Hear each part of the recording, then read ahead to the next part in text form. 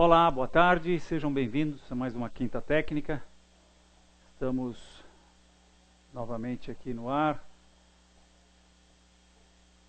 na TV ao vivo da XP Corretora, e vamos analisar os mercados e responder as suas perguntas. É... Quinta Técnica, eu sou Fausto Arruda Botelho, sou diretor da Enfoque Informações Financeiras e da Constop Consultoria. E nós, nesse tempo que dispomos, fazemos análises de prazo longo e prazo curto, tendo como base gráficos de candlestick diários. Uh, acho que a gente pode dizer que tem uma, uma especialidade fazendo gráficos, uh, fazendo análise em gráficos de longo prazo. E nós também comentamos uh, alguns aspectos, alguns, alguns recursos do Terminal Enfoque. Muito bem, então tivemos uma semana bastante interessante em que os preços oscilaram bastante, caíram basicamente. Estados Unidos continua tentando romper uma resistência importante, não está conseguindo. Eu tenho uma leitura do mercado americano de que ele não vai conseguir romper essa resistência. E se isso acontecer, quer dizer, se de fato essa resistência não for rompida e o mercado vier para níveis mais baixos, eu quero crer que o Bovespa deve sofrer mais do que já tem sofrido. Mas vamos lá, começando com o, o índice Bovespa, nós temos hoje o que a gente podia chamar de um uh, macro fator técnico. Uh, estou mostrando vocês Bovespa diário não indexado, gráfico nominal,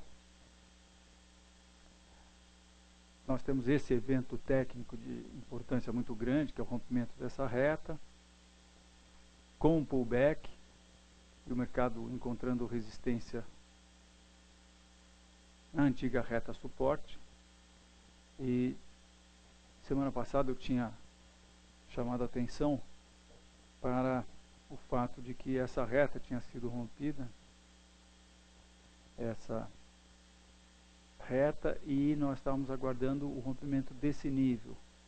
Olha, hoje nós não tivemos aí um, um, um, um dramático rompimento, mas se desse nível e da reta, né? porque é, um, aspecto importante é que a reta foi rompida, nós tivemos um pullback e os preços, que reta é essa? Né? Deixa eu mostrar essa reta, é essa reta aqui, que vem desse fundo de julho do ano passado.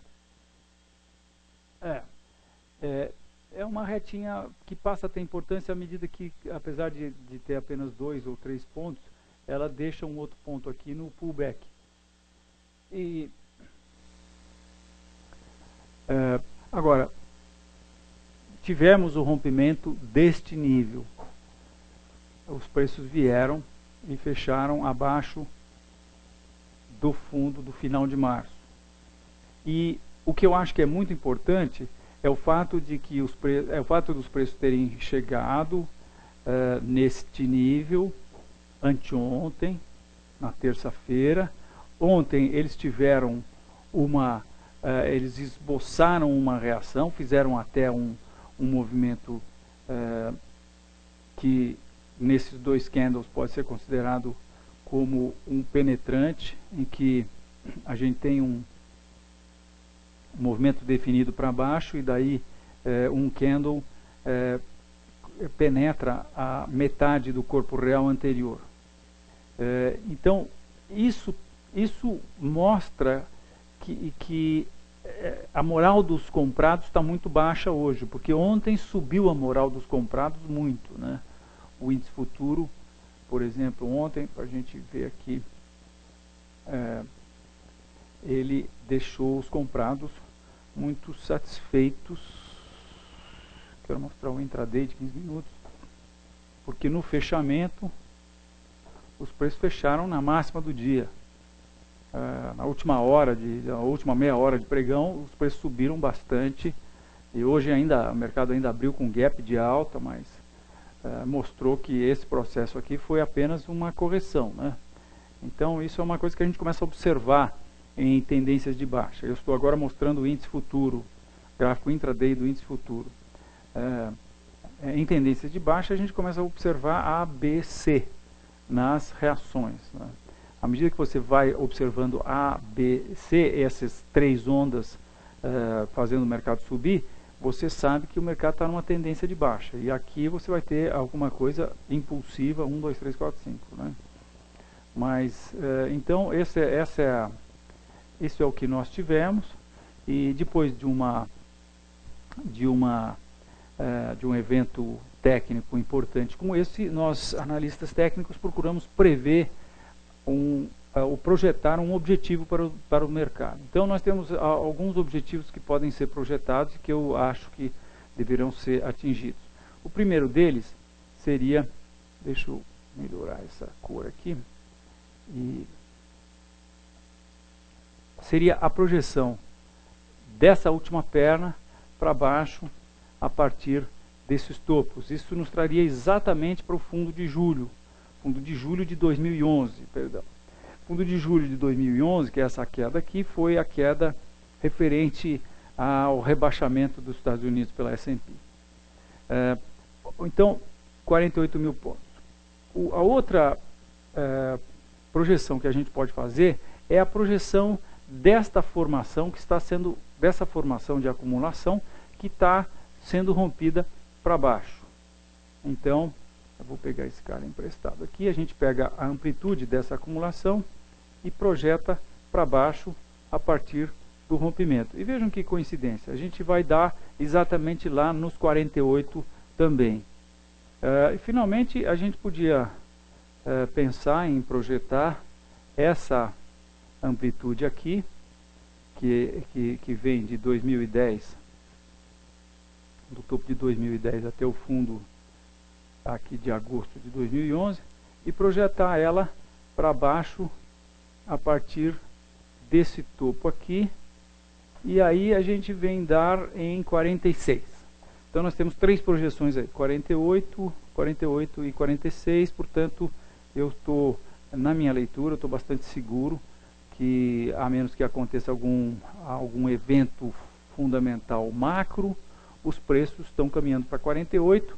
No caminho, eles devem parar aqui nos 52,500, onde nós tivemos esses fundos de junho, julho uh, e, e, e, é junho e julho de 2012, porque nós tivemos uma, uma um, três fundos aqui importantes, depois que o mercado bateu aqui pela última vez, ele teve uma alta de 20%. Então, uh, é isso é, bastante claro isso. Agora, a gente, logicamente, quando um nível de suporte importante quanto, quanto esse, por que é importante? Porque, é, vejam, um, dois, três, quatro, cinco, seis, seis meses de acumulação. Seis meses de acumulação é uma baita de uma acumulação e os preços estão rompendo isso aqui. Né? Então, quando um nível desse é rompido, a gente tem que ficar de, a gente tem que ficar de olho para ver se não, não vamos ter nenhuma surpresa aí, nenhuma, nenhum é, é, nenhuma é, armadilha para vendido, né? bear trap, como diz o americano. Então eu, eu espero que nos próximos uh, pregões os preços tenham um rally para baixo. Por que, que a gente tem que esperar isso? Ora, porque se esse é um nível importante de suporte, acima desse, li, desse nível tem um monte de ordens de compra ah, pela, uh, pela própria definição. Né? Por definição, nível de suporte é o nível onde entram compradores. Então, acima desse nível, que o mercado acabou encontrando aí nos 55 mil pontos, devia ter um monte de, de ordens uh, de compra. Aqui, por aqui assim, tem um monte de ordens de compra. E logo abaixo desse nível, é, todo mundo que estava comprado aqui, é, por ter um nível de suporte muito bem definido, essas pessoas põem as suas ordens de venda, que são ordens de stop, né? os seus stops é, ficam logo abaixo desse nível aqui. Vamos trocar a cor aqui. Tá? Então, aqui acima desse nível, a gente tem um monte de ordens de compra e abaixo desse nível a gente tem um monte de ordens de venda. Por isso que um nível como esse é muito importante, como um nível de suporte, porque é, por isso que é muito importante para nós analistas técnicos sabermos sobre esse nível de suporte, porque ele é justamente a zona limítrofe entre um monte de ordens de compra, que, que são as ordens do suporte, e um monte de ordens de venda, que são as ordens de stop. Quando esse nível é rompido, o que a gente deve, pode e deve esperar é uma, é, um, uma queda, né, no caso aqui do rompimento do suporte, uma queda. Se isso não acontece, é porque tem alguma coisa errada. Mas é, eu quero crer que é, é, exatamente o que nós vamos ver, uma rápida queda aí inicialmente para o, esse é, fundo de julho a 52,500 50, entre 53 e 52, né? Posteriormente para os 48. Vamos ver o que, que a gente pode visualizar, o que, que, o, o, que, que o índice futuro pode estar nos dizendo a mais. É, no índice futuro, então, nós temos, é, bem, esse é o gráfico. É, e essa é a acumulação em que os preços se encontram. Aqui no índice futuro a gente vê uma coisa ainda mais dramática. Né? Uh, a gente vê que o, este nível de suporte que estaria sendo rompido agora, ele vem desde julho de 2011. Vem desde, de, não sei se é julho ou se é agosto, isso aqui é agosto. Ele vem desde agosto de 2011. Então a gente tem esse fundo aqui, esse fundo de outubro, esse uh, de 2011, temos esse fundo de, esses fundos aqui de junho julho de 2012 e temos o fundo aí da semana passada, do final do mês de, aliás, do final do mês de março. Uh, e hoje, eh, vejam, os preços também não fecharam na mínima do dia, eu quero, até quero ver, dar uma espiada aqui no, no intraday. Uh, o intraday ainda está correndo agora ele está melhorando um pouco, mas uh, pode muito bem ser apenas um pullback. Né? Aqui no intraday, eu acho que está é, claro aqui esse suporte que é, aconteceu no dia 25 de março, quer dizer, que aconteceu em função do fundo de 25 de março e desse fundo que nós tivemos aqui ontem. É, esse nível foi nitidamente rompido, os preços romperam, voltaram, é, chegaram de novo nele, é, tomaram um engolfo e agora estão é, se aproximando de novo. É, se voltarem, se nós tivermos, uma abertura em alta amanhã, nós podemos bem ter um, uma, um ralizinho de alta aí. Mas é, não é o que parece que está acontecendo. Eu quero crer que tudo vai depender de como esse cavalheiro aqui, que é o S&P, se comportar, né? Muito bem, então eu dizia que nós então estamos, continuamos baixistas no médio e longo prazo na, para a Bovespa. Uh, o mercado tem confirmado as indicações de baixa passadas que nós, uh, que, que nós uh, estávamos visualizando. E, e, aparentemente estamos mesmo entrando numa tendência de baixa de médio e longo prazo. É, ou, já, ou, ou estamos né, cada vez confirmando mais essa tendência de baixa. Agora estamos baixistas para o curto prazo também no, no, no Ibovespa. Eu quero mostrar a vocês é, a situação bastante crítica que, em que se encontra o S&P agora. Então, esse é o S&P 500 à vista. Esse gráfico vem aqui desde 1980. De 82 para cima nós tivemos a expansão econômica americana, que foi bastante grande, né? Eu gosto sempre de colocar pingos nos is. Nós tivemos 760% de expansão econômica aí ah, no mercado, quer dizer, de, de, expansão de bolsa, né? Que é mais ou menos igual à expansão econômica. É, não, não é. Né? A expansão econômica foi menor, provavelmente, mas a Bolsa extrapola muito mais. Né? É, esse, eh, perdão, eu disse que era o S&P à vista, não é o S&P à vista, esse é o S&P indexado em CPI. Ele retira a inflação deste período. Então, nós temos essa reta de resistência e este nível de resistência. Essa reta passa pelo topo de 2000, que foi o topo do estouro da bolha do Nasdaq, que passa pelo topo do uh, subprime, anterior à queda do subprime, e vem dar exatamente aqui onde nós estamos hoje, muito próximo de onde nós estamos hoje.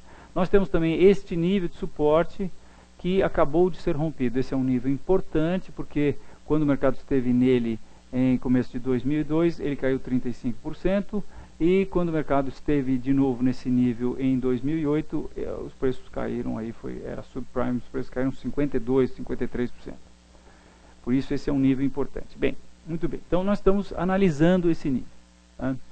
É, isso, isso aqui é uma marcação que eu faço no meu gráfico. Essa amplitude está marcada aqui, é igual a essa amplitude, ou seja, essa perna foi muito parecida com essa perna, que foi muito parecida com essa perna. E isso nos dá 1, 2, 3, 4, 5 isso eventualmente é o final de uma onda impulsiva, ou, ou é, a gente poderia considerar que é, isso aqui foi uma primeira onda, A, B, C, depois, bem, é, isso também me, me chama a atenção para que talvez esse processo todo que começou em outubro de 2011 é, possa estar se exaurindo. Outubro de 2011, depois do rebaixamento dos Estados Unidos que aconteceu aqui em agosto de 2011. Né? Mas, se isso acontecer agora, é muito importante porque os preços acabaram de romper o nível de resistência que eu falei para vocês e a reta de resistência. E eles romperam, andaram um pouquinho e ao invés de engatar a primeira, a segunda, a terceira, e, e, eu poderia dizer que foi exatamente no mês passado, neste dia aqui, 14 de março, que os preços fecharam na máxima do dia, escapando de uma bandeira, e não foram, tiveram um pullback, e, e nesse dia 26 de março também tiveram um fechamento aí na máxima do dia, é, uma oscilação bastante vigorosa, 0,8% aí no S&P, e, e, acontece que o, que o que eu estou vendo e que está acendendo uma luz amarela muito forte no meu radar de analista técnico é que esses importantes níveis que eu estou chamando para alguns amigos de a mãe de todas as resistências, uh, esse nível foi rompido e o mercado não está indo. Ora, quando o mercado não vai, depois de romper uma resistência importantíssima como, como essa, é porque tem alguma coisa errada. E eu estou achando que tem alguma coisa errada. Não é de hoje que eu acho que tem alguma coisa errada. E, bem, se os preços entrarem, adentrarem de novo o nível de 1530 agora, então é, nós vamos estar tá tendo um bull trap, só que um bull trap num contexto extremamente é, importante, que é esse contexto de, de terem de, de, de ter é, rompido para que aconteça o bull trap, o bull trap, uma resistência muitíssimo importante.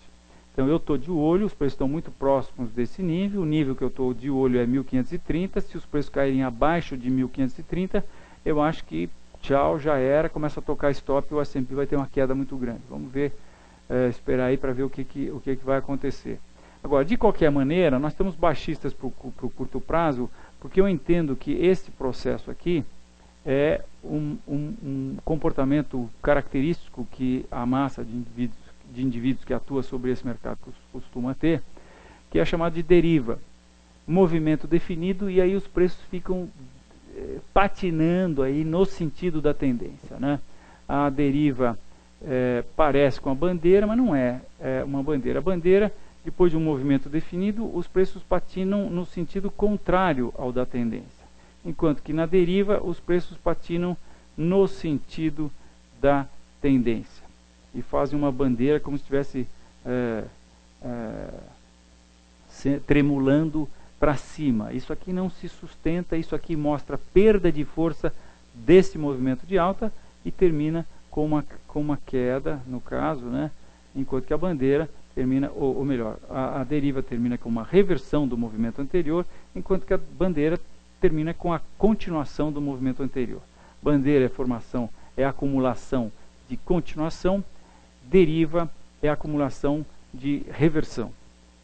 Muito bem, então é isso que nós estamos vendo lá nos Estados Unidos.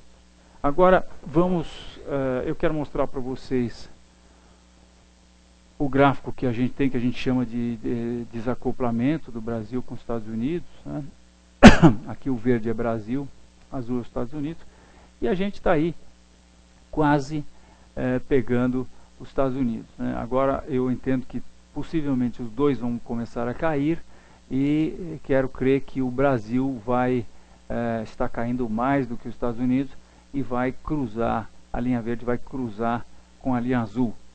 Vamos ver se isso vai acontecer. Quando acontecer, na quinta técnica seguinte, nós certamente vamos estar chamando a atenção de vocês para esse fato. Ah, eu quero aqui também mostrar o gráfico de dólar. Esse é o gráfico do dólar à vista. É, em que nós estamos com uma acumulação que ainda não sabemos dizer se é, nós vamos chamá-la de flâmula de alta ou de deriva. Se o mercado fizer isso, é uma deriva, e se o mercado fizer isso, nós vamos chamar de bandeira. Né? Mas, é, olhando aqui no gráfico do mercado futuro, a gente tem essa pequena reta que pode ser adequada, pode deve ser adequada para cá, continua passando nos dois pontos. Então, nós estamos aí com... Uh, não, desculpem, eu estou mostrando o dólar é, errado. Dólar abriu não. Maio.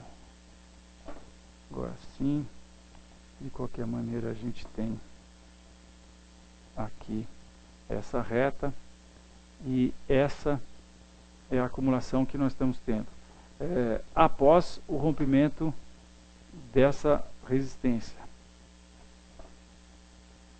Bem, nós uh, estamos altistas no dólar, nós achamos que em princípio isso aqui é, até porque estamos vendo essa situação no gráfico futuro e não no vista. Né? À vista não está tão claro, mas no futuro nós estamos vendo o dólar subindo e queremos crer que ele está indo para esse topo de dezembro do ano passado, de novembro do ano passado, que está aí a 2,180, 2,200. Então essa é a nossa expectativa para o dólar. Muito bem vamos falar de ações Petrobras e Vale. Eu vou. Nós estamos uh, com uma recomendação de uh, venda em Petrobras. Vou mostrar a vocês por quê aqui no gráfico diário, onde nós temos essa grande acumulação. Nós já tivemos uma, um rompimento da parte. Bem, primeiro, essa grande acumulação nos dá uh, comprados no mesmo nível, vendidos em, nível, em níveis cada vez mais baixos.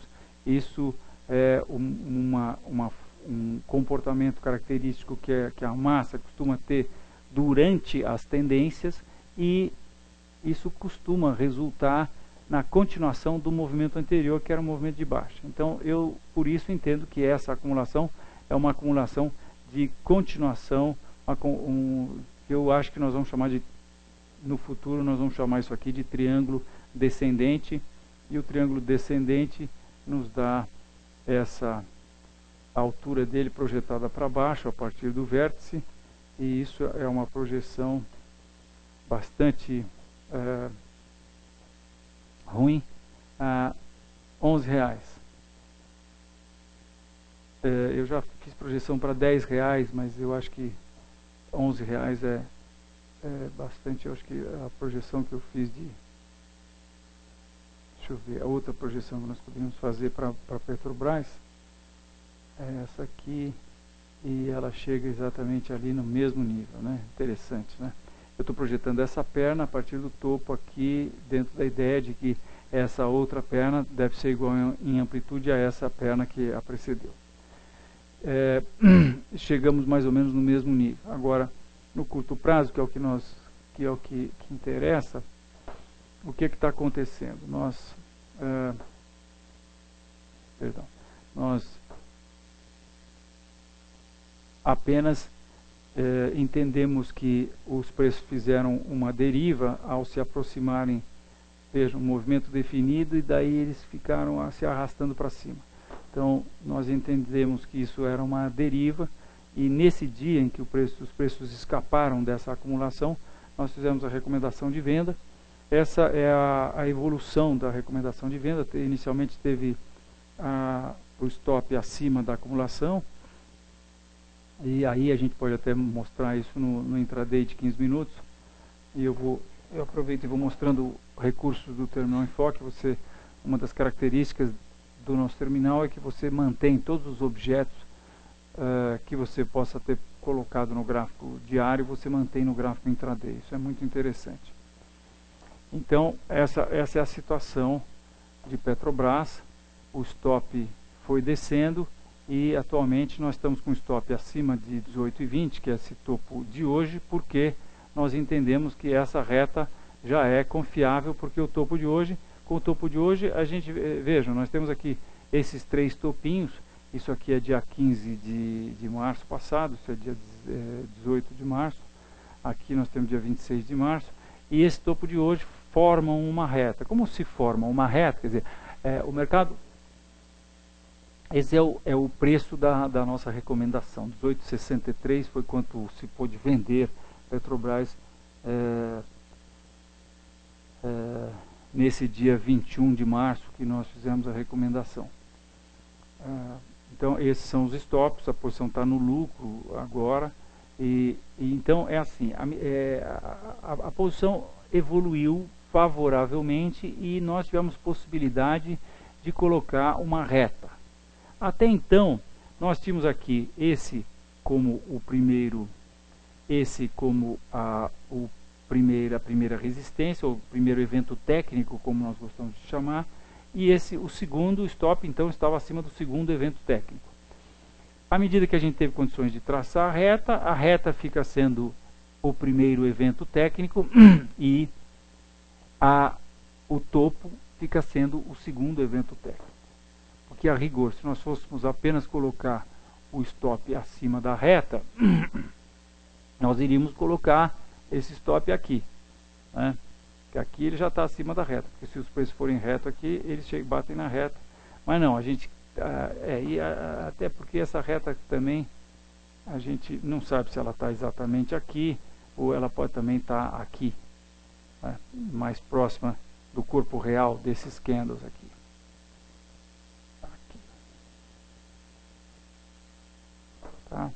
Então, uh, o stop nosso estaria acima da reta e acima desse topo. Esse topo está aqui a 18,20, a gente mede direitinho aqui, né? 18, vê no terminal, essa janelinha está me dando os valores todos, eu vejo aqui que o máximo aí é 18,21 e o stop da posição que nós recomendamos está a 18,26. Tá? Então, uh, Agora, analisando aí o curto prazo, é, a gente entende que essa acumulação que foi feita aqui é um retângulo em dois topos e três fundos e o fechamento na mínima do dia hoje leva a crer que essa acumulação vai ser rompida e aí no curto prazo a gente projeta essa amplitude, amplitude dessa acumulação para baixo e a gente vem dar aqui em 17 e a gente vem dar em 17,30, 17,25. 17,25 temos um fundo aqui em, no dia 6 eh, de março, em que os preços bateram exatamente eh, 17 e, e, e 25. Então é para lá que nós achamos que, tá, que Petrobras está indo no curto prazo e somos, como, disse, como já disse, baixistas no médio e longo prazo também. É, vamos falar de Vale, que deu uma enganada aí na, na, na torcida é, dos vendidos. Ontem, né? mas é, nós entendemos que Vale também está é, com uma cara de baixa muito grande. Nós fizemos uma, fizemos uma recomendação. Deixa eu ver aqui quando foi a recomendação. A recomendação foi aqui, ó. Quando foi no dia 1 de abril. Segunda-feira. Segunda-feira os preços fecharam na mínima do dia, escapando do que nós entendemos ser uma bandeira de baixa. A bandeira de baixa acontecendo depois que este nível de suporte tinha sido rompido. Uh, mas uh, nós acabamos apertando o stop, ou, ou, tendo condições na nossa visão de abaixar o stop, e então fomos estopados aqui. Posteriormente, uh, isso é uma regra do método com stop também. Vejam o que aconteceu. Os preços uh, os preços tocaram o nosso, o nosso stop aqui. Deixa eu diminuir isso aqui para não atrapalhar. Então os preços tocaram o nosso stop aqui. E em seguida, no, no dois candles depois, nós tivemos um engolfo. Então, nessa hora, nós entendemos que o stop estava mal colocado. E achamos por bem vender de novo e colocar o stop anterior. E fomos estopados de novo, infelizmente. Hoje já caiu tudo de novo. Eu acho que vale, pode ser uma boa a venda também. É, porque vejam, essa acumulação aqui continua com cara, apesar dessa arte, vamos dizer assim, que, que Vale fez, né, ela fez um bear trap aqui. Ela rompeu e desrompeu, mas isso a levou apenas até o topo da acumulação e os preços já voltaram para o, o suporte, da, o antigo suporte da acumulação. Né? Então, se a gente simplesmente ignorar isso aqui, é, nós temos essa acumulação ainda a ser considerada. Né? Se os preços volta, voltarem a romper, é, quer dizer, isso aqui foi apenas um, uma coisa temporária que é, não, não tem assim mais outro tipo de interpretação para a gente fazer. É, sim, a gente pode considerar isso como sendo, como tendo sido um bear trap. É, mas é, não é um bear trap como esse que aconteceu em setembro, que os preços tinham rompido essa acumulação aqui. Né?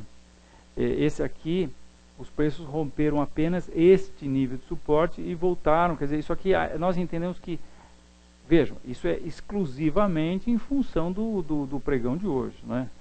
Então nós entendemos que uh, isso aqui, uh, os preços ainda estão dentro da força gravitacional dessa acumulação. E essa acumulação, nos, eh, nós entendemos que é uma acumulação que deverá dar continuação a, a esse movimento anterior.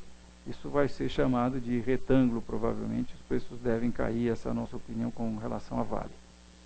Então, temos baixistas aí no curto, médio e longo prazo. Vou só dar uma pincelada aqui do, do longo prazo. Uh, isso é Vale, começa a subir em 1998 é, eu estou traçando Fibonacci aqui, Fibonacci está a quilômetros de distância, o primeiro nível Fibonacci. Né? Subprime não chegou nem próximo do primeiro nível Fibonacci.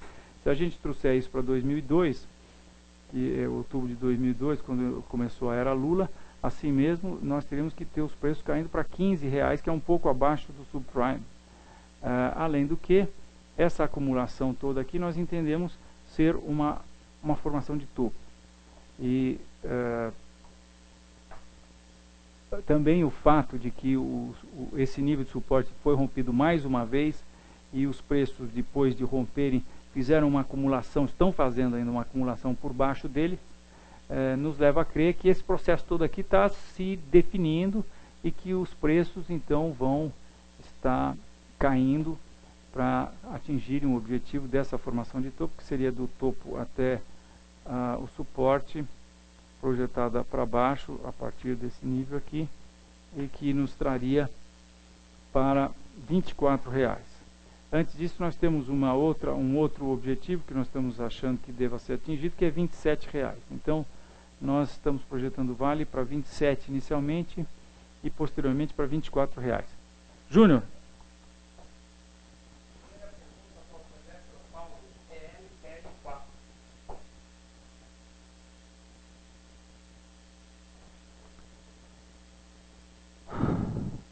Que bela reta suporte, rompida, os preços bateram no primeiro nível Fibonacci. Estamos falando de ELPL4, Eletropaulo PN. Vejam que interessante, ó, nós puxamos o Fibonacci aqui e os preços bateram no primeiro nível Fibonacci, tiveram uma reação, voltaram a cair. Até onde pode chegar isso? Olha, o segundo nível Fibonacci, que é 50% de retração dessa alta toda, passa por esse nível aqui, onde a gente tem, é, tecnicamente, estão no mesmo nível. É, alguém vai dizer, bom, mas isso aqui está um pouquinho abaixo, isso aqui está um pouquinho acima. Não, a gente tem que entender isso como, como tecnicamente estando no mesmo nível. Tá? É, é como se a gente tivesse um grande nível de suporte aqui. Tá, uh, passa por esse topo aqui de 2004, passa pelo topo dessa formação de acumulação de 2005, passa aqui por, por esse fundo de 2007, passa por esse fundo importantíssimo aqui em 2008. Por que importantíssimo? Porque o preço depois desse nível subiu 314%. Tá? Então, nós achamos que os preços estão se encaminhando para esse nível que nós vamos definir como sendo 8. É para lá que a gente acha que Eletropaulo está caminhando. Uh, até lá, a gente pode também fazer um exercício aqui, que seria ver esta perna, foi a primeira perna de baixa, ver essa outra perna, que foi a segunda perna de baixa, igualzinha, essa outra perna aqui que está muito parecida, essa outra perna aqui que também está muito parecida, e essa outra perna aqui, que traz os preços para 8 e pouquinho, quer dizer, isso aí agora é, é para onde eles estão indo, a gente pode traçar uma reta de resistência aqui também, Opa, agora não, ficou muito, muito grande, né?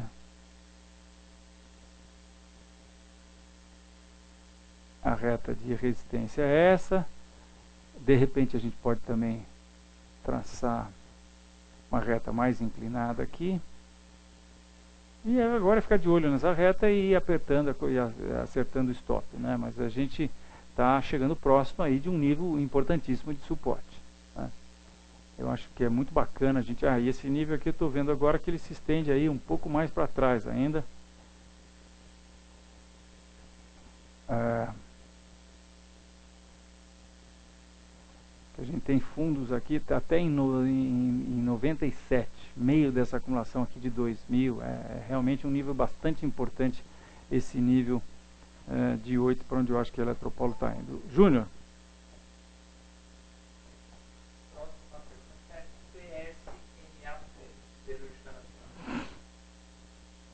Siderúrgica Nacional saiu nos noticiários dizendo que ela agora ia arrebentar a boca do balão. Tem, tem que ser muito cético com as notícias de alta numa tendência de baixa. É, essa é a reta de tendência, essa é a acumulação que Siderúrgica Nacional rompeu, fez um pullback, voltou a cair e encontrou, chegou num suporte importante a 8,50 e teve uma, uma alta que é, a colocou como a maior alta do Bovespa na segunda-feira, em que ela subiu aproximadamente 5,2%, mas esteve é, em alta de 7%. E o que acabou acontecendo foi que é, no dia seguinte, na terça-feira, os preços tomaram essa baita esse baita engolfo, essa patada do, do, dos ursos, né, até porque tinham chegado num nível de, de, de, resistência importante. Mas o que eu queria dizer a vocês é que é, normalmente as reações da tendência de baixa, ou seja, as altas que acontecem no contexto de uma tendência de baixa, são muito violentas. E a gente precisa ficar ah, muito esperto porque elas colocam um monte de gente no mercado, mas elas se dissolvem assim da mesma maneira que, se, que foram criadas. Né? Por isso eu acho que é tão importante a gente ter uh, noções muito boas sobre tendência. Bem, o fechamento de hoje na baixa do dia nos leva a crer que este pai de todos os suportes. Vejam, nós temos essa acumulação aqui, é, cujo topo é nesse nível. Acumulação entre 2006 inteiro quase. Né? Ah, depois tivemos um fundo aqui, uma outra acumulação em 2007, no início de 2007. O fundo do subprime foi nesse nível. Alguém vai dizer, não, foi um pouco mais embaixo, foi 7,50. Sim, mas a parte negociada toda, né, fora essa extrapolação aqui, foi por aqui. Então isso é, é, é nesse nível aí, está tudo valendo, é como na outra vez. Isso aqui a gente tem que imaginar que é uma faixa. Agora, depois de uma queda, vejam, em que CSN é, caiu 50%, aonde é que ela foi parar? 51%, onde é que ela foi parar? Exatamente nesse nível. Tá? Então isso é que é, é, é substancial, é significativo. Né? Então isso define o nível de preços, o nível de suporte. É, Definiu-se como sendo 8,50. Agora, o que aconteceu foi que, ao se aproximar... Bem, o nível de 8,50 foi definido em julho do ano passado. Os preços aí subiram, caíram, fizeram essa grande acumulação aqui. E depois, ao se aproximarem de novo desse nível, o, que, o, o, que, aliás, foi feito uh, com uma deriva, tá? O mercado fez uma deriva ao se aproximar desse nível de 8,50 e aí nós tivemos essa alta na segunda-feira, mas a reversão e o fechamento na mínima do dia hoje é isso aí que eu quero chamar a atenção de vocês. Então vejam, a deriva acabou definindo aquele nível que era de suporte, que era 8,50, ela acabou dizendo, o mercado acabou dizendo, não, olha, não é 8,50, é, é 8,68. É, foi aqui que ele deixou o seu corpo real mais baixo. E hoje o mercado pôs a cara para baixo desse corpo real. Então isso nos leva a crer que este nível está sendo rompido. Então, esse nível não é esse nível, é este nível aqui. Pai de todos os suportes. Se esse nível for rompido, uh, CSN provavelmente vai uh, entrar numa tendência de baixa que deve trazê-la para pelo menos primeiro nível Fibonacci, nós estamos falando em 3,60. Uh, mas nós teremos algumas projeções a fazer várias projeções. Né? Um, a, a, mais pessimista seria a gente simplesmente pegar essa amplitude e jogar para baixo. Depois nós vamos ver onde é que isso aqui vai dar. Mas é, alguma coisa assim mais próximo à Terra, né? porque isso aí está muito longe, seria a gente pegar essa amplitude dessa perna e projetá-la para baixo a partir do início, de onde nós entendamos que, é, onde a gente possa entender que foi o início desse novo movimento. Poderia ser aqui, nós estamos falando em seis reais. Ah, seis reais é onde passa esse nível aqui, ó, mais ou menos, um pouquinho abaixo, né? Então temos esse topo de 2005, esse fundo de 2006 e está mais ou menos aí próximo dos, dos seis reais. E é para onde a gente acha que está caminhando o CSN. Ah, sim, e nós também podemos uh, pegar a amplitude dessa acumulação, eu vou projetar aqui, e projetar para baixo a partir daqui, aí nós vamos ter um, um objetivo um pouco mais baixo, que é praticamente a mesma coisa, né? 5,80. Então aí nessa faixa de 6, que é para onde a gente acha que está indo CSN agora. Júnior?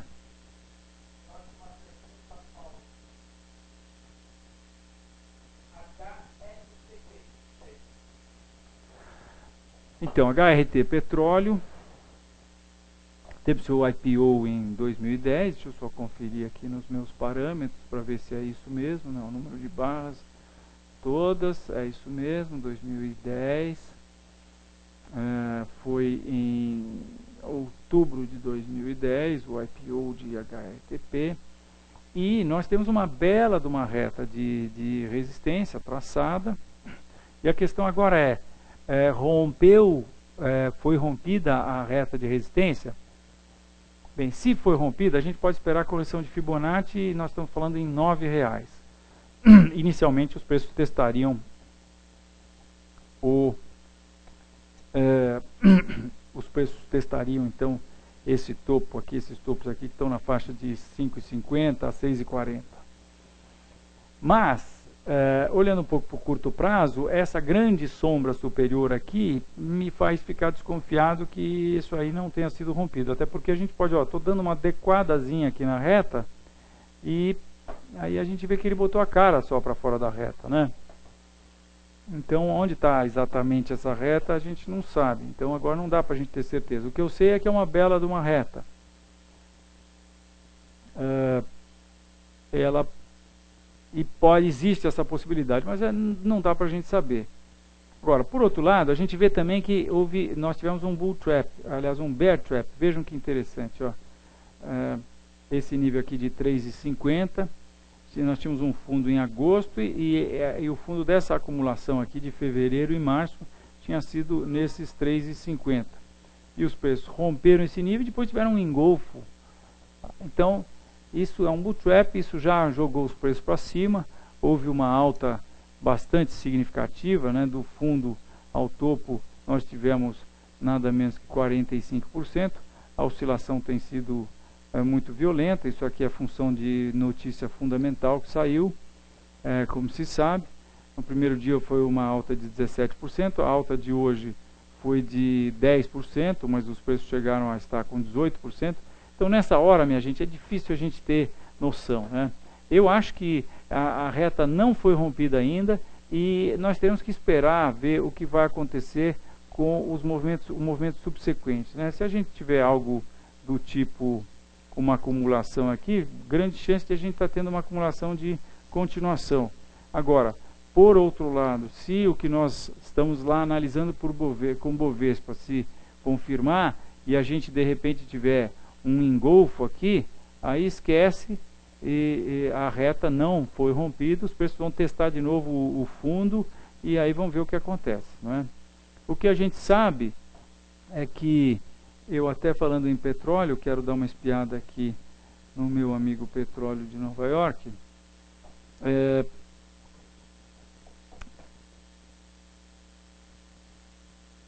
petróleo, eu sou bastante baixista no petróleo uh, lá fora. Uh, isso porque eu entendo que ele é uma commodity e eu até hoje eu estou no mercado bem mais para trás aqui do que 84, né? No mercado de commodities. Estou no mercado de commodities desde 78, acompanho o mercado de commodities desde 1977. É, então, é, eu, eu, vejo esse gráfico e vejo que o petróleo é, habita essa faixa aqui. Ele habitou durante 20 anos, escapou em 2004, quando os preços tiveram a farra do subprime, que deu no que deu, que deu nisso aqui. E depois disso eles bateram aqui no topo dessa caverna onde ele habitou durante 20 anos voltaram a subir e agora eu entendo que eles estão nos dando uma magnífica formação de topo. É, é bastante, é, com uma simetria muito interessante e eu entendo que essa formação de topo vai ser rompida com os preços caindo, rompendo essa reta de pescoço aqui espetacular, é, dessa formação de cabeça e ombros, ombro esquerdo, cabeça e ombro direito aqui. Né? E se isso acontecer, a gente projeta 48 em 5, é, 48 dólares o petróleo. A projeção dessa acumulação traz o petróleo para níveis onde já não, se ser, não seria possível praticar uma coisa chamada pré-sal. o custo de extração do pré-sal seria é, mais caro do que o preço que os que o óleo viria. E isso seria muito, muito, muito ruim para a Petrobras, porque vocês sabem o investimento, o investimento que a Petrobras fez no petróleo. Né? Então, uh, eu pessoalmente acho que existe uma chance muito grande dos preços entrarem de novo para dentro dessa toca, ou seja, virem abaixo do fundo do subprime que trouxe os preços para 35 dólares o barril de petróleo. Uh, eu sei que tem muita gente que é cética com relação a isso, mas vejam o que está acontecendo é, os preços tiveram essa, depois do subprime, eles tiveram, eles tiveram esse ímpeto, depois eles tiveram esse ímpeto aqui, depois eles deram mais uma subida, só que agora eles estão fazendo topos consecutivamente mais baixos. e não conseguem romper o topo anterior. Em setembro do ano passado, fizeram é, o, o, topo que, tiver, que tivemos, aliás, primeiro em maio de 2012, não conseguiu ser maior do que o topo que nós tivemos em fevereiro de 2012, e depois o topo de setembro não conseguiu ser maior do que o topo de maio, e o topo de janeiro agora não conseguiu ser maior do que o topo de setembro do ano passado, e esse topo atual foi tentar, mas também não conseguiu ser maior do que o topo de janeiro, e assim a gente vem fazendo topos consecutivamente mais baixos. É, aqui a gente tem também essa pequena reta, a qual a gente vai ficar de olho, né? Mas o fato é que deixamos um topo aqui, e o que, que vai acontecer agora? Eu acho que os preços estão caminhando para testar essa reta, se essa reta for rompida, eles vêm testar a retona de pescoço aqui, que é essa reta, e que se for rompida, aí confirma essa formação toda como uma formação de topo que projeta esse objetivo aqui para baixo. Né? Então, por essa razão, eu acho que a gente tem que ficar bem cético com relação à possibilidade de que esse rompimento de reta possa ser um rompimento de médio e longo prazo. Mas, de qualquer maneira, se acontecer esse rompimento, nós podemos esperar aí os preços, como eu disse, subirem até 9, que seria o primeiro número Fibonacci, com paradas aí a 6,20, uh, ah, que é essa a resistência desse topo aqui. Júnior? Risco Brasil, deixa eu pegar ele aqui, indicadores mundiais e Risco BR. Não, aqui nós estamos vendo a Itália. Bom, já que ela entrou aqui sem querer, vamos mostrar a cara da Itália para vocês. Caminhando para teste desse nível importantíssimo de suporte aqui. Ó.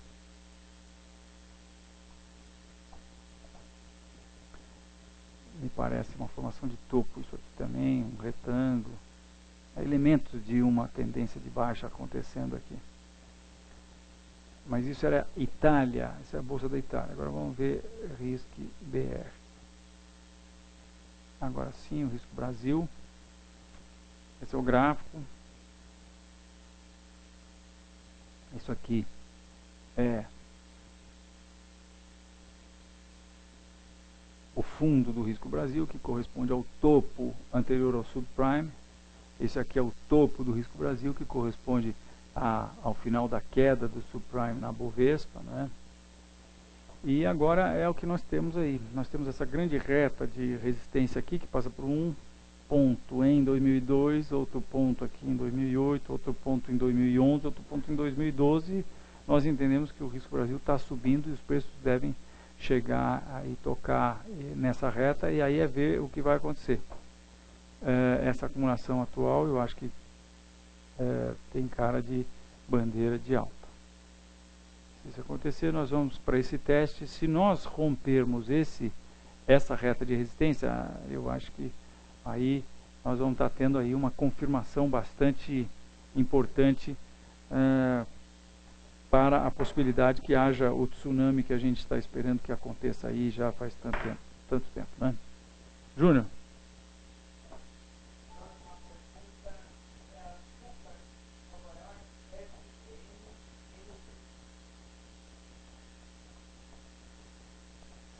SBN N3. M3 ou N3? SBM de Maria. Dois N's? Peraí, deixa eu ver qual é o nosso código aqui, porque talvez a gente esteja sendo informado de um código que não é nosso.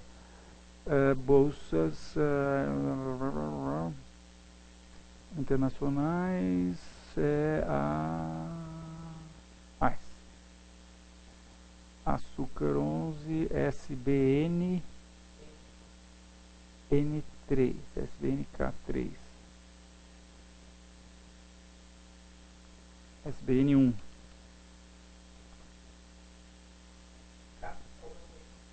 É, nós estamos com o maio aqui, nós, uh, infelizmente eu não tenho o gráfico do, do N, mas esse é o nosso gráfico perpétuo do açúcar, que vem desde 1985. Tá? E nós estamos aí para observar um, major, um, um, um evento técnico de proporções macro, porque os preços estão testando este nível aqui, ó. Esse nível aqui, que é esse nível que está sendo testado agora. Vejam, isso é um topo de 97, minha gente.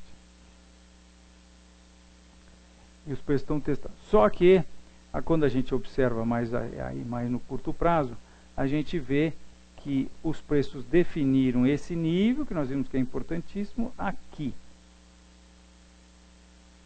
E é exatamente esse nível que está sendo testado agora. Os preços estão rompendo? Não, acho que não dá para considerar que esse nível foi rompido. Agora, é... esse processo sugere uma formação de topo. Por quê? Primeiro porque ele está acontecendo em faixas de topo, né? está acontecendo lá em cima. Isso aqui não é ação que tem que subir sempre. Isso aqui é commodity que vale isso, depois vale isso, depois vale isso, depois vale isso, depois vale isso, depois vale isso. Então a gente vê que tem essa região dos topos aqui. Né? A gente pode tentar traçar uma reta aqui. É, isso aqui tem um... A gente podia pensar num canal de alta aqui. E a gente vê que os preços bateram lá no topo, as outras vezes que eles bateram no topo, eles, ou pelo menos as duas últimas vezes, eles caíram. Né? Essa aqui bateu no topo, caiu um pouco, depois voltou a subir. Mas isso aqui tem toda a cara de formação de topo. Então eu acho que os preços caminham, o açúcar, eu eh, no longo prazo estou baixista, acho que esse nível vai ser rompido, só não sei se vai ser rompido agora. Uh, nós temos uma acumulação aqui que eu não sei se nós vamos chamar de deriva, que vai resultar na, na reversão desse movimento, ou se nós vamos chamar de retângulo não está muito clara essa formação. Se chamarmos de retângulo é porque vai acontecer isso. De qualquer maneira, se o, esse nível que está sendo testado de suporte, que está sendo testado agora, é, for rompido, bem, aí a gente projeta isso tudo aqui para baixo, e é uma bela de uma, de uma baixa, né? é, que traria os preços próximos dessa, desse nível aqui para 11, 11, reais, 11 dólares. Nós estaríamos falando de uma queda de aproximadamente 38% no açúcar. Se acontecer o que nós estamos uh, esperando que aconteça com a Bolsa do Brasil e dos Estados Unidos, é, isso se coaduna perfeitamente, né, se encaixa perfeitamente, porque numa recessão mundial açúcar é, cai de preço. Júnior.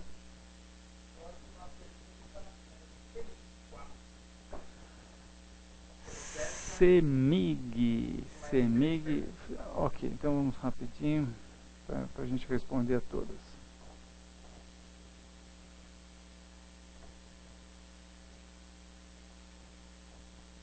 Semig 4.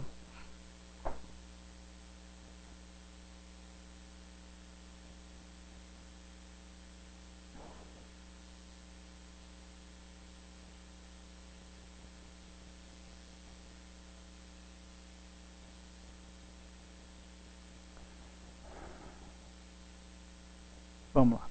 Então, é,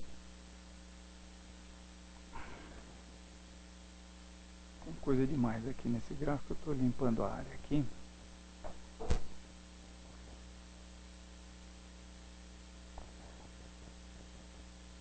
É, a gente não tem uma reta assim tão, tão boa, não.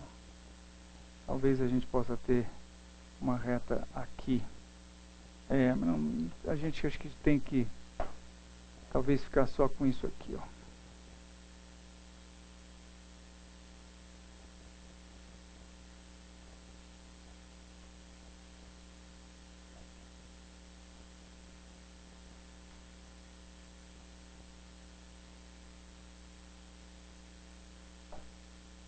É, não é pouca coisa, né? Se a gente pegar só esse período, nós vamos estar tá observando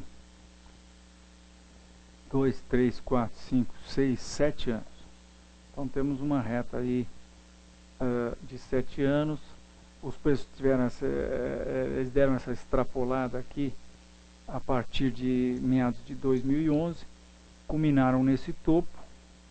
Depois veio o problema com as elétricas e os preços tiveram esse gap e aí a partir de novembro do ano passado, nós tivemos essa alta, que foi arrastada, né? Então isso aqui para mim é claramente uma situação de é, é, deriva no sentido contrário ao da tendência, né? Aquela situação que os preços fazem um, um movimento definido e depois fica nheque, nheque, nheque, nheque, nheque, nheque. Isso resulta em outra queda de proporções semelhantes, que é o que eu acho que vai estar acontecendo com o CEMIG, nós, uh, até porque aparentemente esse, eu vou botar isso aqui no semanal e no mensal, aí fica bem mais claro, né? A gente vê nitidamente uma bandeira de baixa aqui no, no mensal. E é, eu acho que é exatamente isso que a gente pode também observar aqui no, no, no semanal e é o que a gente pode também ver aqui no diário. Bem, como saber se está na hora de vender CEMIG ou não? A gente pode traçar essa retinha aqui, ó. Ah, vamos trazer essa retinha para cá, pronto. Então, essa retinha rompida, um bom fechamento abaixo desse nível aqui, um bom fechamento abaixo de... É, abaixo de 22,50, algo como isso, poderia ser o gatilho para a gente colocar uma venda nesse nível, com stop aqui, acima de 24, e objetivo, o que, que a gente vai traçar de objetivo? A gente pode ter um objetivo muito claro aqui para traçar, que é a amplitude do mastro dessa bandeira. A gente pega esse mastro e projeta para baixo, o que, que eu fiz aqui? Eu peguei a reta em vez de pegar. Ah, outra reta. Agora apaguei a reta, não pego mais. E aí a gente projeta isso aqui para 14 reais, provavelmente, alguma coisa próxima disso.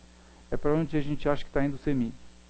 14 reais, acreditamos que é exatamente isso que vai acontecer, isso aqui vai, vai ser rompido, achamos que isso aqui tem cara de bandeira de alta, perdão, de bandeira de baixa, mas não dá ainda para a gente descartar a possibilidade de que esse gap aberto aqui seja fechado para os mercados fazerem uma ABC, por exemplo, e depois tomarem o rumo de baixo. Né? Por isso que eu digo, é importante ficar de olho nessa retinha suporte aqui. Júnior.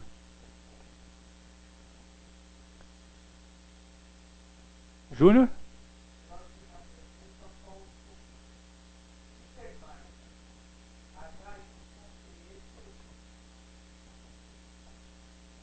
3. Bem, nós tivemos essa reta rompida. É uma reta suporte bastante importante, 1, 2, 3, 4, 5 pontos. E entendemos que os preços agora caminham para esse objetivo. Nós até fizemos uma recomendação de venda. Uh, stop estava aqui, logo acima de 16,80 e o objetivo é 13 reais. É para lá que a gente acha que os preços estão caminhando.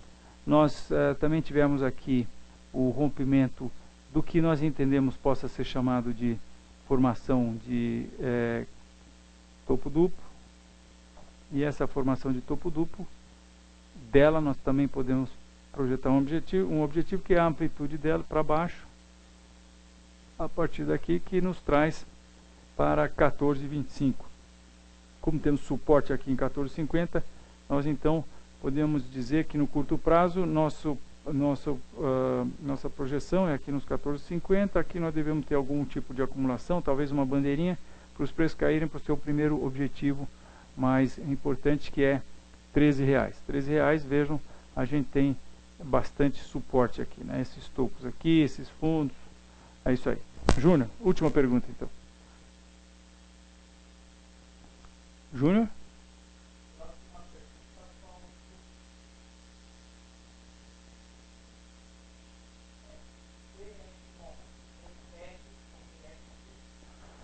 BR Malls tem essa linda reta de suporte rompida.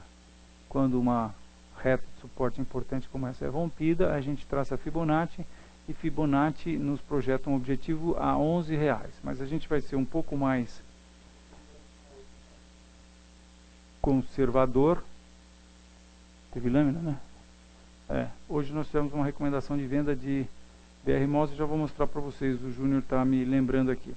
Eu vou colocar isso aqui em 2009, é, onde começa essa tendência, a, é, é, essa tendência que nós tivemos condições de traçar esta reta muito bacana. Por quê? Porque um, dois, três, quatro pontos. Né? Aí a projeção é 16 uh, reais. E o que nós tivemos hoje, que nos motivou a fazer a recomendação, foi o rompimento desse suporte que estava aí a 24. Uh, ah, não tivemos aí uma coisa assim muito, muito uh, dramática com o fechamento na mínima do dia, mas tivemos sim os preços fechando abaixo do suporte definido pelos, pelos corpos reais. Aqui esse último corpo real, por exemplo, estaria bem definido aqui. Né? Então, uh, deixou uma pequena sombra, mas nós entendemos que esse nível está rompido. Por quê? Porque estamos entendendo que isso aqui vai entrar numa tendência de baixa, porque essa reta é muito importante. Ah, será que não vai ter um pullback para a reta? Eu acho que já teve o pullback para a reta, o pullback foi esse cara aqui. Já rompeu, já teve o pullback, aí os preços tentaram ir lá de novo, fizeram um topo inferior ao último topo, e agora estão rompendo esse nível aqui, quer dizer, está tudo nos conformes de uma tendência de baixa, que tem como objetivo esses níveis que eu falei para vocês. Esse nível de Fibonacci aqui. Agora, até lá, uh, o, o, bem, nós podemos projetar a amplitude dessa acumulação para baixo, né, como primeiro objetivo. Vamos ver onde é que vai dar aqui. Vem dar exatamente a 21, onde nós temos esse nível de suporte aqui. Então, próximo objetivo 21. Isso aí, minha gente. Muito obrigado pela presença de vocês e um bom fim de semana. Uh, talvez essa semana a gente possa ter o nosso Bull Trap acontecendo lá no S&P e nós vamos saber se o Bovespa rompeu mesmo a, a, o suporte, esse importantíssimo suporte ou não. Uh, logo, logo nós vamos saber, talvez amanhã. Né? Então, boas e grandes emoções aí para essa próxima semana. Muito obrigado pela sua audiência. Até mais.